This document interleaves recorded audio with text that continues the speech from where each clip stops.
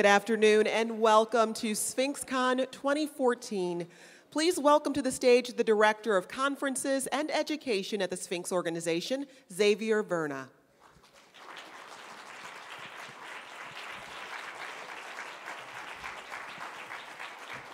Good afternoon, everybody. How's everybody doing? Woo! Awesome, awesome. Welcome, everybody, to SphinxCon, the second annual convening on diversity in the arts. Uh, I just want to take this time to just say a few thank yous before we get into the things that we got to look forward to this weekend. Uh, first of all, thank you to all of you and to our presenters who are going to be with us this weekend. Big round of applause for everybody. Um, also want to take this time to thank our funders and our sponsors and our host, uh, the Marriott, WK Kellogg Foundation, Ford Foundation, uh, Michigan Council for the Arts and Cultural Affairs, uh, Masco Corporation Foundation, and Google, that without their support, this event would simply not be possible. I also want to take this time to thank the Sphinx staff for their support in putting this event together, and of course, last but not least, the SphinxCon liaisons who just come together for this weekend to uh, put this event together and make sure that the engine keeps running and ensure that it is a successful event. So thank you to all of you. Uh, also wanted to take this time to um, remember one of our liaisons from last year. Um, she was our production manager last year. Her name was Janisha Jefferson, and uh, she was our um, production manager for the inaugural year. And she was a fantastic and remarkable human being, and unfortunately, she passed away uh, this past summer. Uh, she was a, a, stage manager professor at Carnegie Mellon University and also one of the uh, board of directors for the United States um, Institute for Theater Technology. And probably the sole reason why I was able to uh, hold it together last year during the inaugural year. And I know if she were here today, she would say, Xavier, get it together. We got a show to run. So, with that, uh, I'd like to transition to the things that we get to look forward to uh, this weekend. Starting off with, we're about to hear some really amazing and inspiring talks. Throughout the weekend, we have nearly 30 speakers uh, who represent uh, the top arts leaders across the United States. Another opportunity that you have is you get to engage and network with these leaders. After each presentation, speakers are going to be escorted to the networking room, and we encourage you to stand up, walk out to the foyer area, and into the networking room, which is behind me, and speak with each presenter. And that is part of Sphinx Con, is the flow of in and out and talking with people. So we encourage that. Please don't feel discouraged, even while the presentation is going on, to stand up and, and leave. Uh, some other fun things, participate in group activities. I can see everybody is like super into the puzzles right now, which is awesome. Uh, I'm sure most of you have seen the note on the box that says we have a prize uh, at the end of the convening for the first uh, pod to uh, complete the puzzle. Uh, so you have to complete it on the tables. Um, and uh, also, we have um, the Detroit landmarks, which you've noticed on the table. Uh, we encourage you to kind of just move around and explore different parts of Detroit. So if you leave and you come back, pick a different little pod to sit at and learn about a different part of Detroit. We'll be kind of swapping these in and out throughout the weekend, so there'll be more. Um, also, uh, the networking room, don't forget that. There's a little mini stage in the networking room for just to have fun. You can take pictures on the stage, so have fun with that. Uh, we also have our social media. Um, we have our Facebook and Twitter, and also we have the Google community page, which is a new thing this year. Uh, so I want to encourage you to use that because that is a platform that we've created for you to continue these conversations that you're going to start this weekend. We'll be posting questions in the Google community page, and we hope that you will take a moment to post your answers in there as well. Just one point of clarification about Twitter. Um, if you're going to tweet, please tweet to Sphinx Music with a hashtag to SphinxCon. Um, we don't want to use SphinxCon. Uh, the reason is in your info packets that all of you received, there is a note to text follow SphinxCon to 40404. And that basically is so we can send you updates throughout the weekend uh, and kind of keep in touch with you. That's not going to be used for our regular media. So please just use at Sphinx Music. Other things to look forward to, we're going to witness amazing performances this weekend. Starting today, we'll have the Sphinx Virtuosi, which is comprised of laureates from the Sphinx competition. These are all professional musicians that will be on stage here. Uh, we have tonight the Arthur L. Johnson Memorial Series with Simon Shaheen. We'll get to hear him play his oud and his violin tomorrow. We'll have Adrian Anantawan, Gabriela Frank, Mark Clegg, who will be accompanied by two singers. Uh, and on Sunday, of course, don't forget about our Sphinx Finals competition, which is at 2 p.m. at the Max M. Fisher Hall. Uh, also, while you're here, I hope that you take a moment to visit one of the places that we've listed in your program book and explore a little bit of Detroit. Um, and uh, also, the Detroit Symphony Orchestra has a concert tomorrow night. So if you're looking for something to do, 8 p.m., their Divine and Dvorak concert. They've given you discounted tickets for that, uh, starting at $15. Code word Sphinx. So I hope that if you're looking for something to do, you can do that. You can pick up the tickets at the box office, or you can do it online. Uh, so without further ado, I'm going to pass on the mic to Miss Jennifer White, our SphinxCon host for this year. Thank you all so much for being here, and let the conversation begin.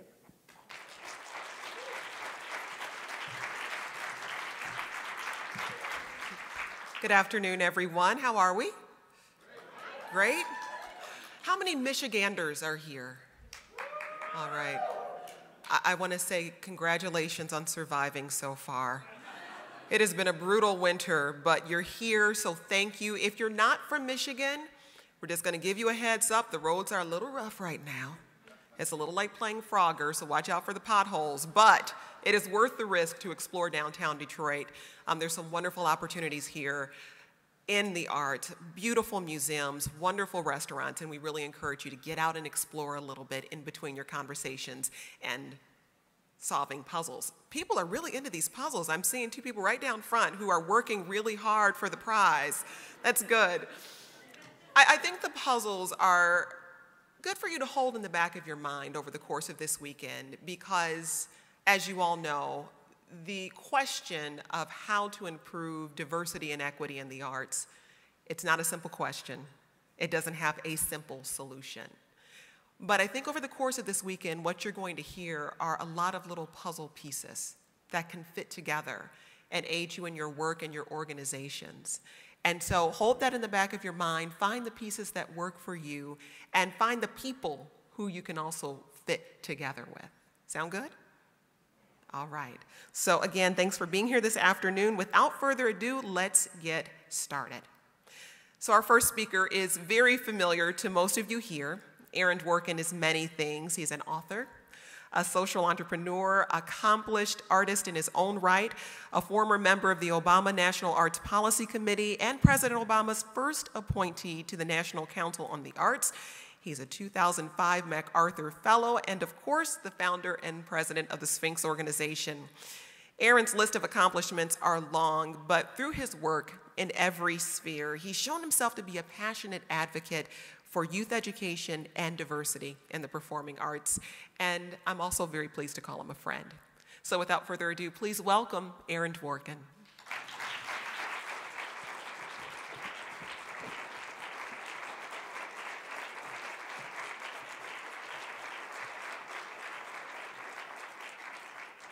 Hello, everybody, and welcome to Sphinx Con. I will just delve right in.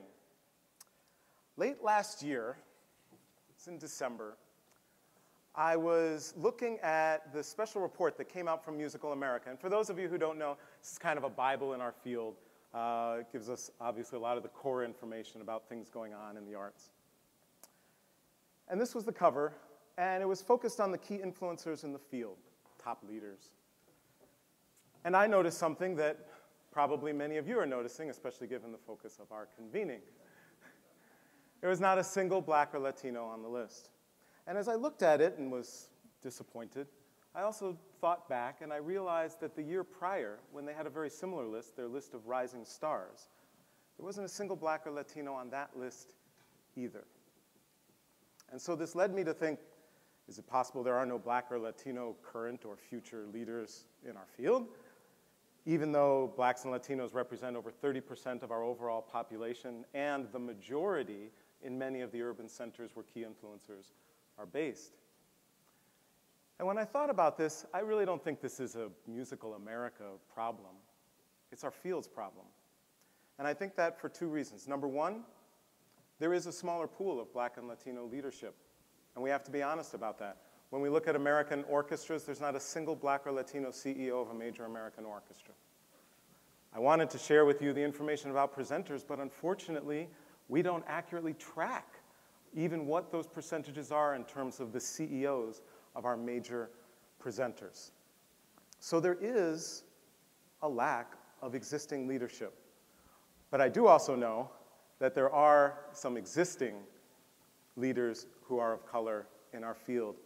And the question we should ask ourselves is why aren't we recognizing them? Why aren't we acknowledging them? The unfortunate reality is when you get to be on a list of key influencers, it makes you a little more influential. you get to put it in your bio, you get to share it with other people, and the reality is more people pick up the phone, which means you have a greater ability to make a difference in the role that you play in our field. So these things and these lists actually do matter. And unfortunately, this exists in our field despite the fact that blacks and Latinos are recognized in basically every other major field. And whether we look at business or academia or sports or the law or politics, our overall society, I even included GQ in here.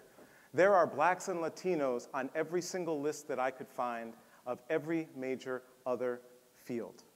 So we stand out as an outlier that we somehow are not engaging new leaders, incubating them, encouraging them, and we're certainly not recognizing the ones that exist. Last October, I gave an uh, address at Carnegie Hall on inclusion. And it was a pretty stark address, and I kind of raised some realities about the orchestral field. But what I wanted to share with you was some of the reactions in the field. And the reality was that in the week after the event, which was kind of when we got the biggest response, there were less than 20 positive comments on our site or leading arts organizations' websites. And of course, the internet is where a lot of discourse takes place these days. And when I'm referring to these positive comments, it's a very general term. And what I mean by that is, for us at Sphinx, positive is not necessarily agreeing with us, but engaging in a constructive dialogue with us. So there were less than 20. There were over 140 negative comments. And by negative comments, I don't mean just disagreeing with us. I mean negative, and I'm actually going to share with you some examples of those comments, not to draw attention to them, but to draw attention to the disparity, and so that you see that literally seven times the volume of feedback we got were these types of comments, and which actually led us to have to shut down our own YouTube site for several days. When are whites going to get tired of being lectured by non-whites in the civilizations that whites' ancestors built? Stop trying to make a silk purse out of a coon's ear. The niggers are a race of wake up, white man. These are all direct quotes. I was told most orchestras make people audition behind screens so that the people judging them won't know if they're male or female or what race they are. They do this to avoid charges of discrimination. An interesting point that I would like to respond to, except that they went on to say, knowing this, how can this nigger claim discrimination? Obviously, the best people are getting the jobs. Look at how many Asians are in symphony orchestras. What this nigger is saying is hire blacks whether they're good enough for the job or not. Darkies will be given free tickets. I won't read this whole one, but you can obviously get the gist of it.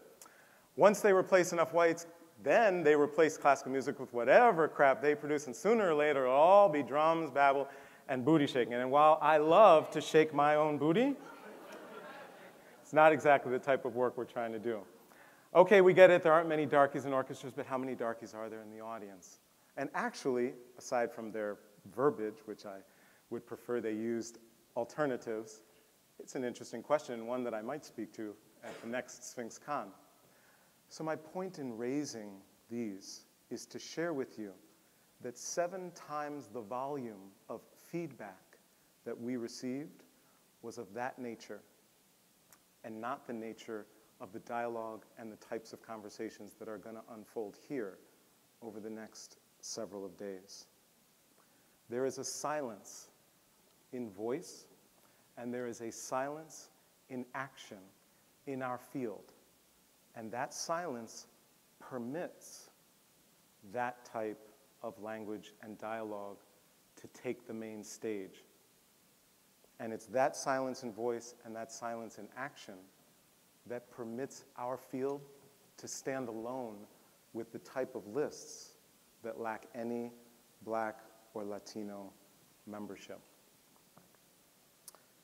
And one last thing before I get to my little Sphinx list that I drafted for you is that oftentimes people share, especially about key influencers with me, they say, We'd love to, but we just can't. We try to diversify our board, we try to diversify our CEOs, but it's just, it's tough. We can't do it.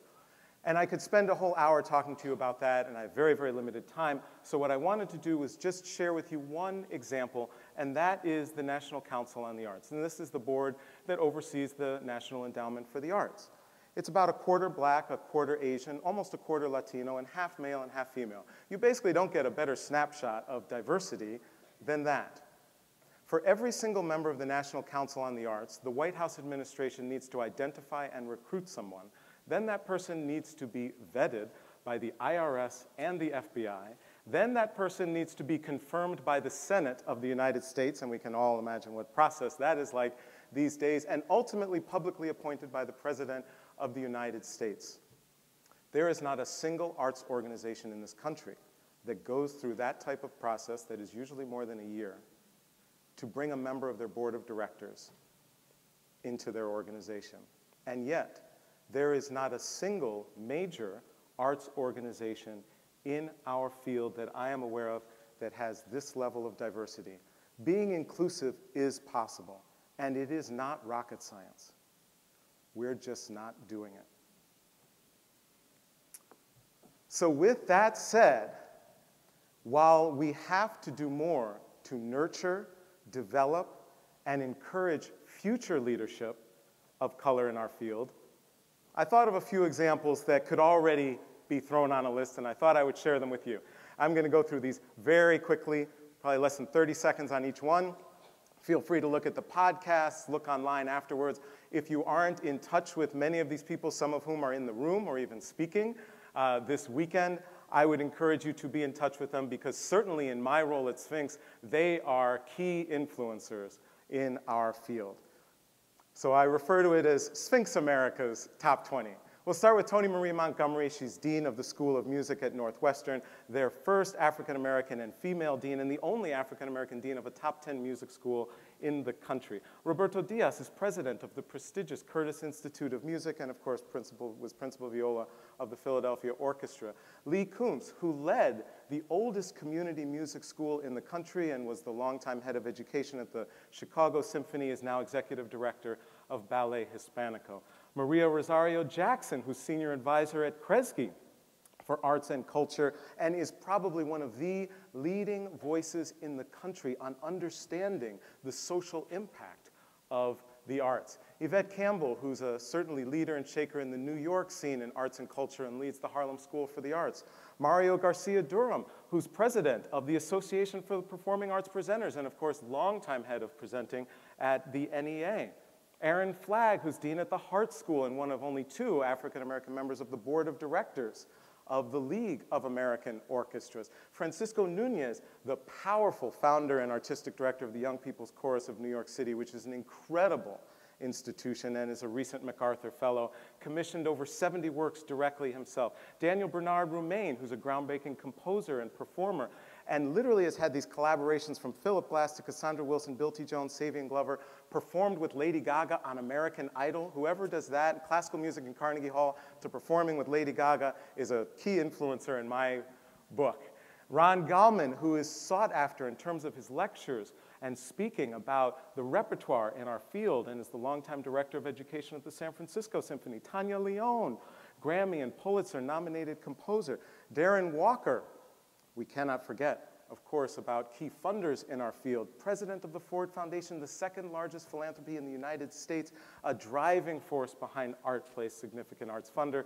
Gustavo Dudamel, nothing more need to be said, but I don't have him on the list because of his role as a conductor. I have him on the list because of the role that he plays as a key influencer, especially when we look at the community outreach efforts of orchestras, not only those at the Los Angeles Philharmonic, but the way in which many other orchestras have looked to them as a lead for things to do in their own communities. Stanford Thompson, who's founder and executive director of Play on Philly, probably one of the leading El Sistema models in the United States and is on the faculty of the Abreu Fellow Program at NEC.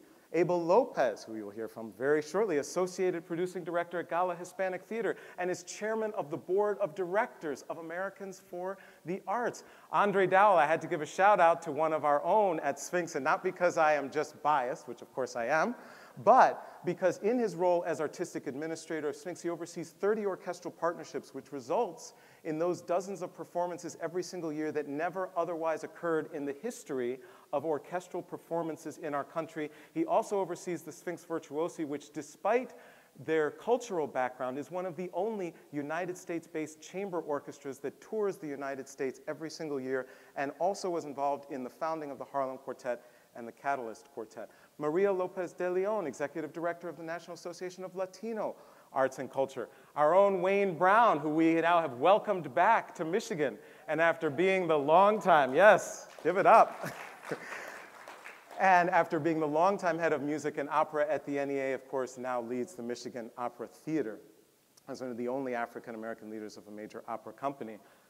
Can't have a list without Jose Abreu himself, who founded El Sistema in Venezuela, which has now seated over 100 youth orchestras, 270 music centers, and reaches over a quarter of a million young people. He's received the Crystal Award, a host of other various things. And I figured I might as well put Wynton on the list because what's a list without Wynton? so my whole point, and you'll see now a slightly revised magazine cover that I wish I would have seen last December. And the unfortunate thing is that I should never need to give a talk like this. We should never need a separate Sphinx list. And I will keep making one until there is one inclusive list that we all are a part of and takes our entire field into account. Oops wanted to leave you with one of Martin Luther King's quotes that's one of my favorites, which is that change does not roll in on the wheels of inevitability, but comes through continuous struggle. History will have to record that the greatest tragedy of this period was not the strident clamor of the bad people, but the appalling silence of the good people. Our lives begin to end the day we become silent about things that matter. And I submit to all of you that our collective silence about these issues matter. And they matter in terms of how our field is perceived by others, and it matters in terms of those who feel that they have the opportunity to fully participate in everything that the arts has to offer. Thank you all so much, and I am looking forward to the next several days. Thank you all so much.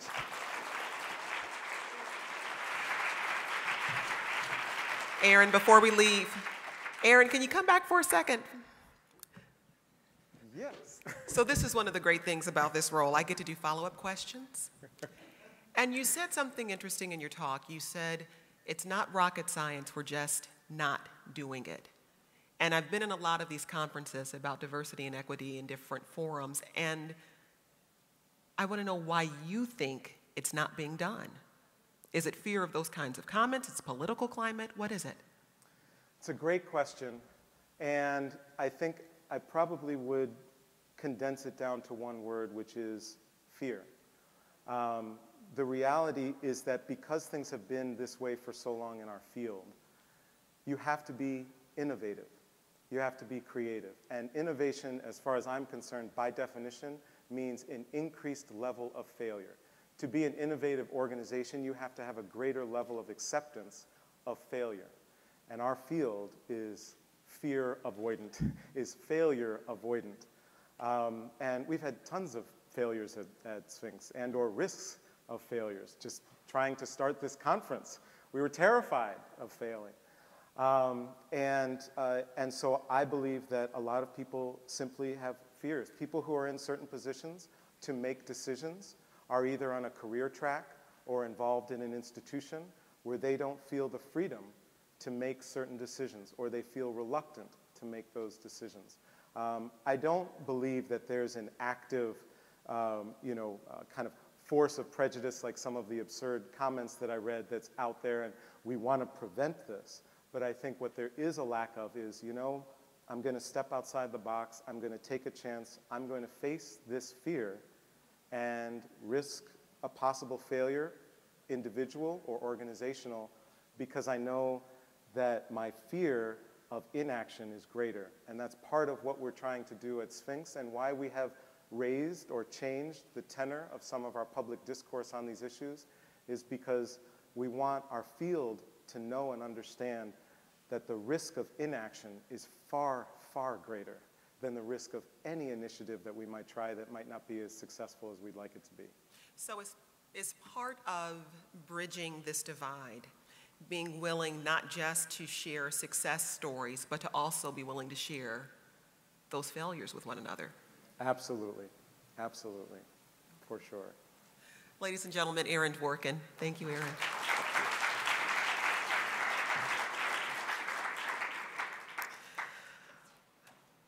Some people question that there's too much focus put on diversity initiatives. And our next speaker says the best path to cultural diversity and equity is not through diversity initiatives, but through systemic change.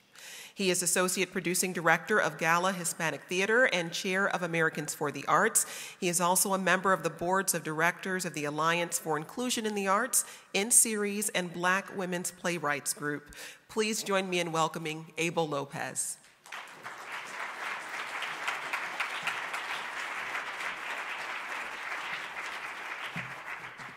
Buenas tardes, good afternoon.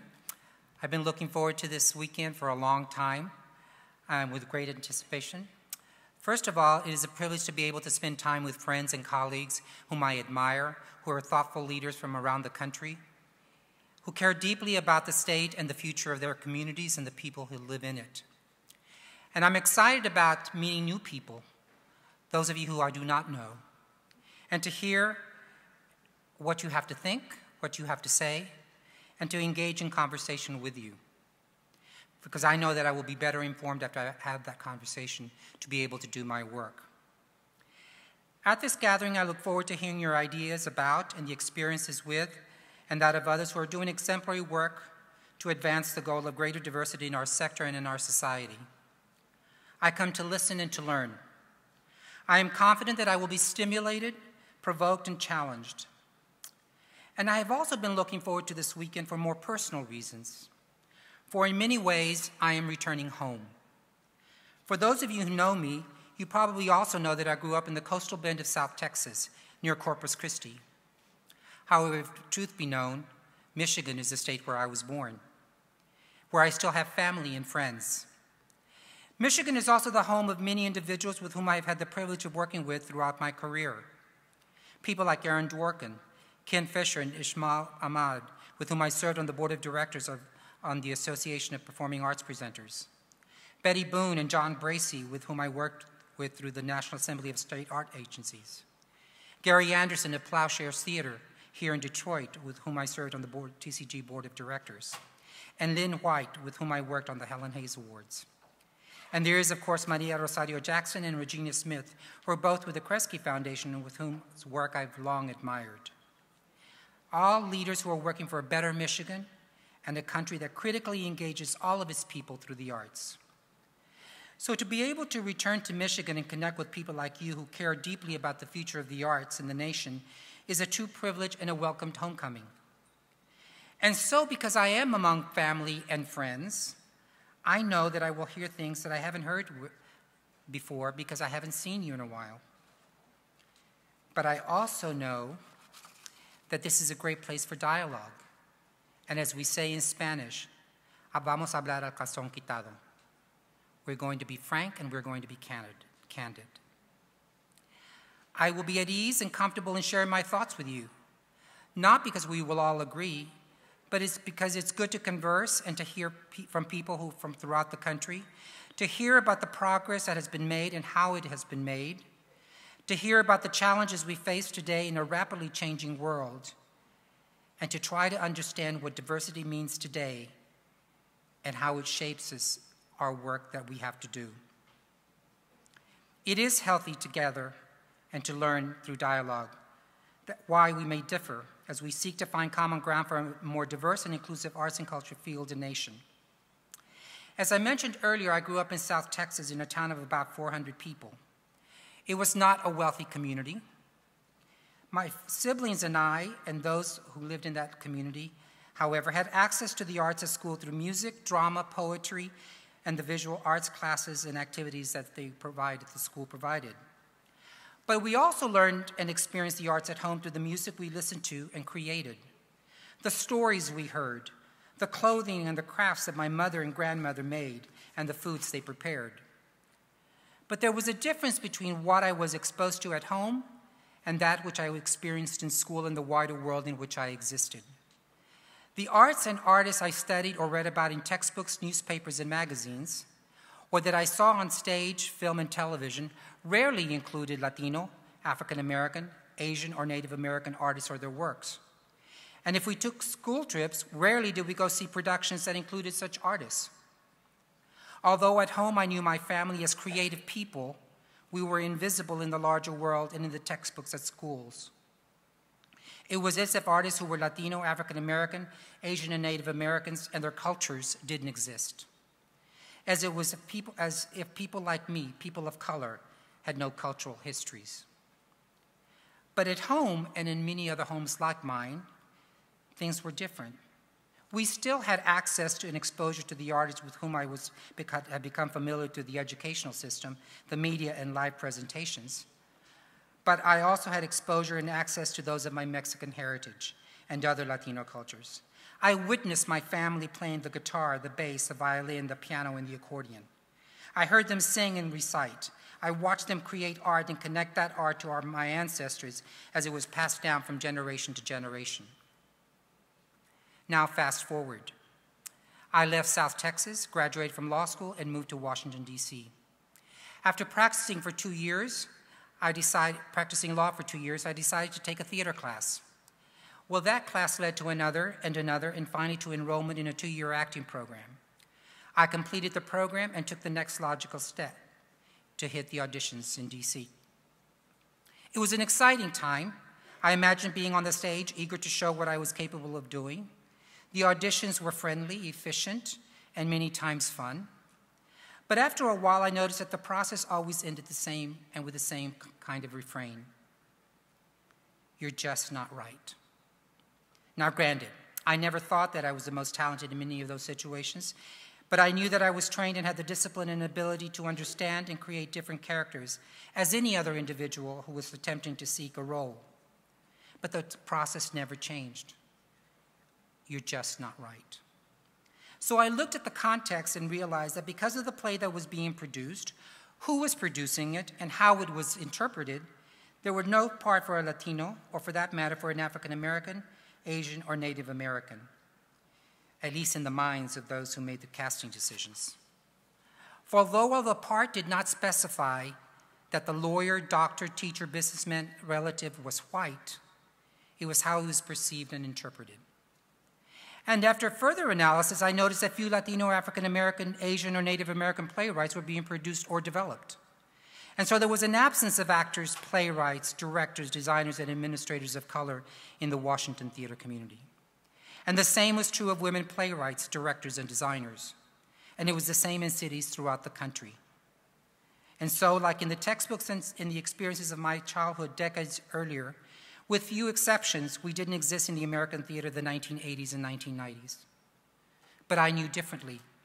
I knew we did exist in this country, and I knew that we had existed for hundreds of years in the Americas and throughout the world, rich in stories and creative expressions but with histories known to so very few people in this country.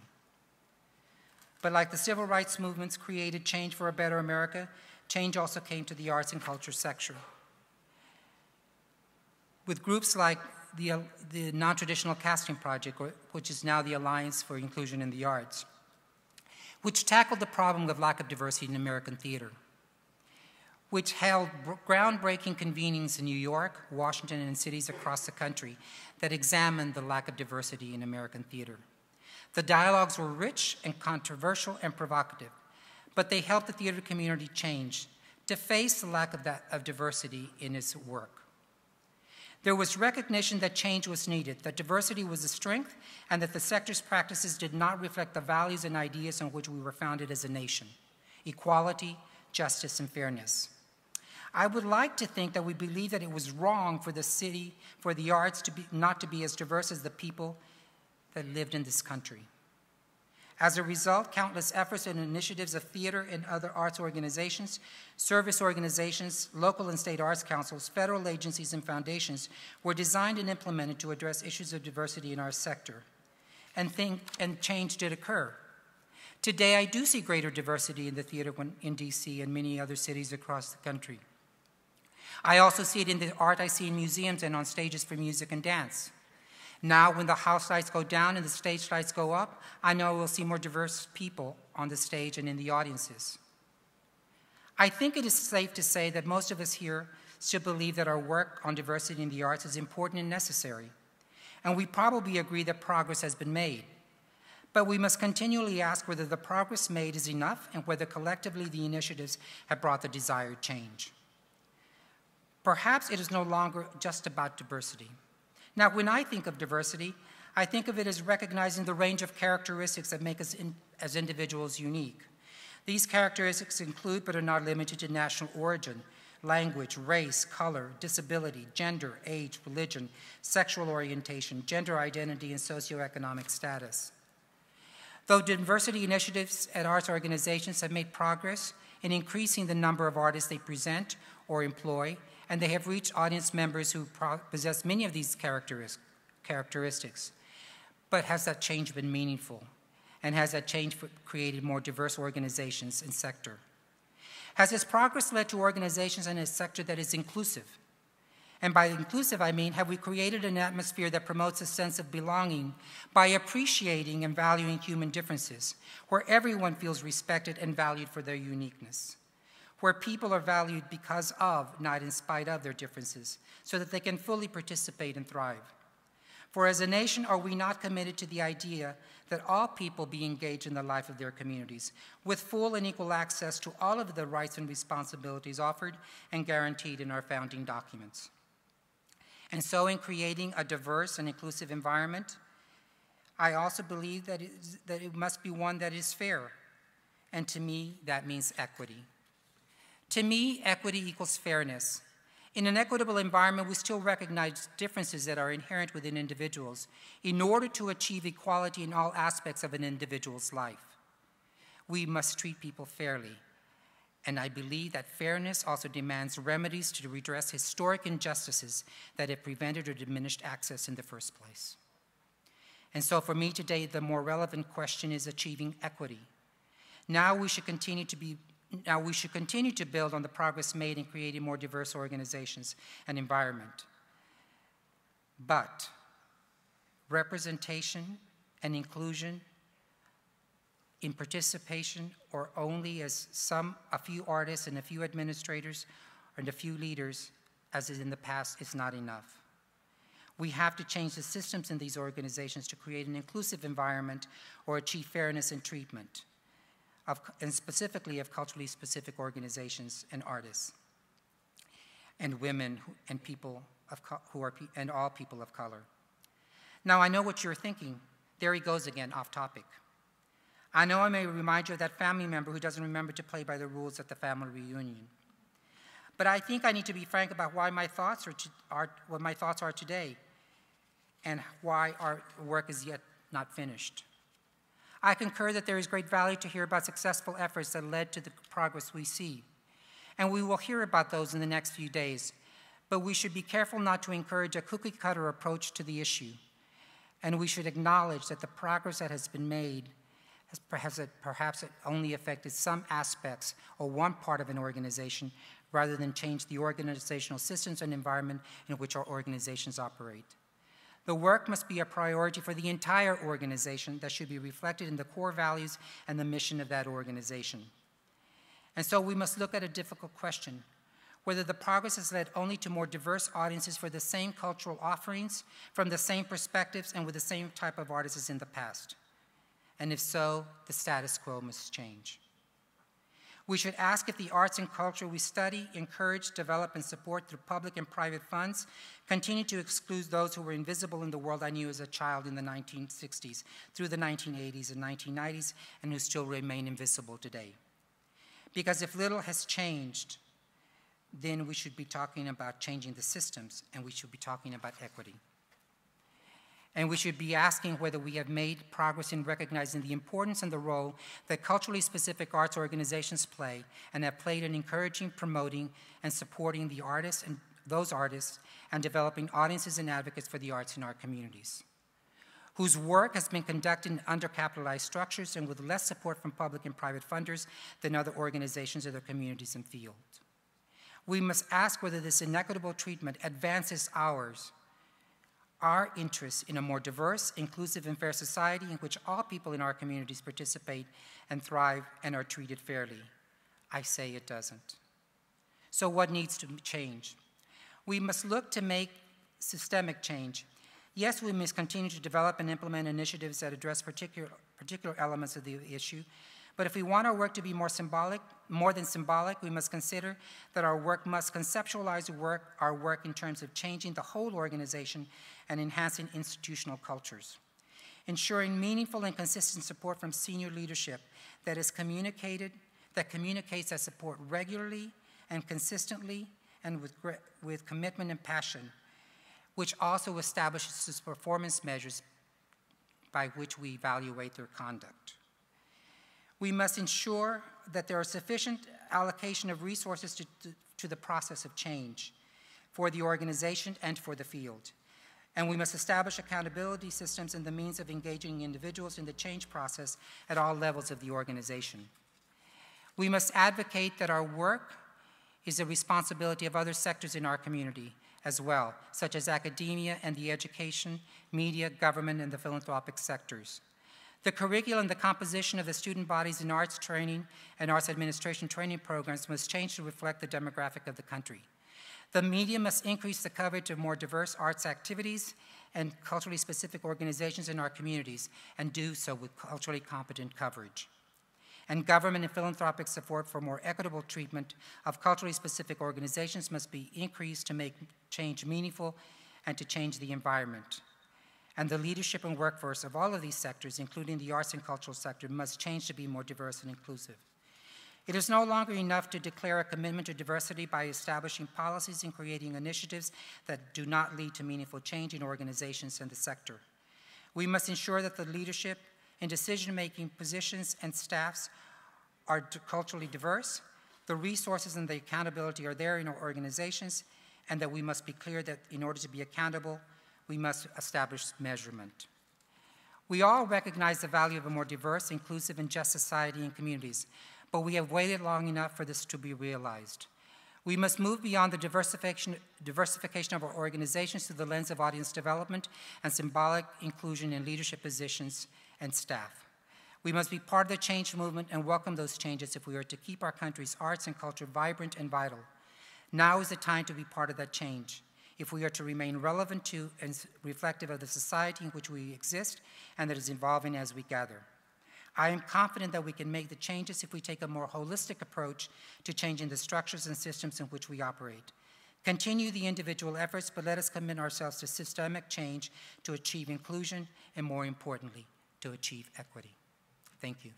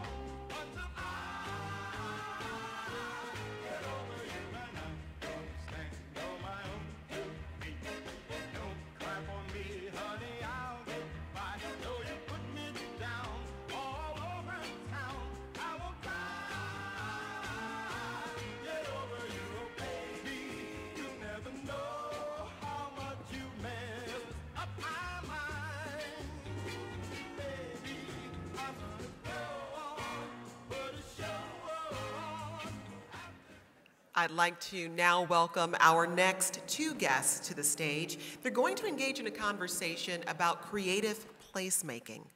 Rip Rapson is an attorney and expert in urban policy. He's also president and CEO of the Kresge Foundation. And Maria Rosario Jackson is senior advisor to the Arts and Culture Program at the Kresge Foundation. And in 2013, President Barack Obama appointed her to the National Council on the Arts. Please welcome Rip Rapson and Dr. Maria Rosario Jackson.